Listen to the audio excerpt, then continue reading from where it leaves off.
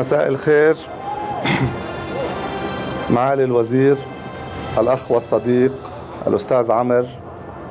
شرفنا اليوم بوجودنا في هذا المهرجان وفي هذا المع أو أو في هذه المعارض اللي وجدنا فلسطين حاضرة فيها جميعا.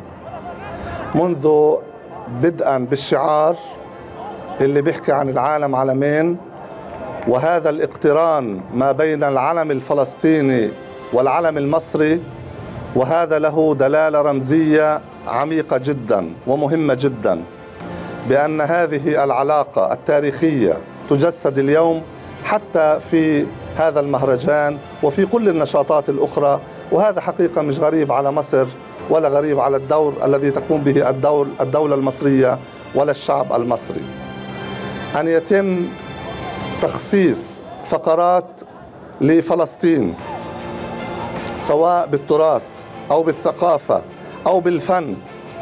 معظم الجولة حقيقة اللي قمنا فيها شاهدنا فلسطين كما قلت في كل التفاصيل. وبالتالي هذا تعبير حقيقي عن هذه المكانة لفلسطين وللقضية الفلسطينية في قلوب الأشقاء في مصر. وأيضا هذا ليس بالجديد على الأشقاء في مصر. أن يتم تخصيص جزء مهم من ريع هذا المهرجان لإغاثة الأهل في قطاع غزة.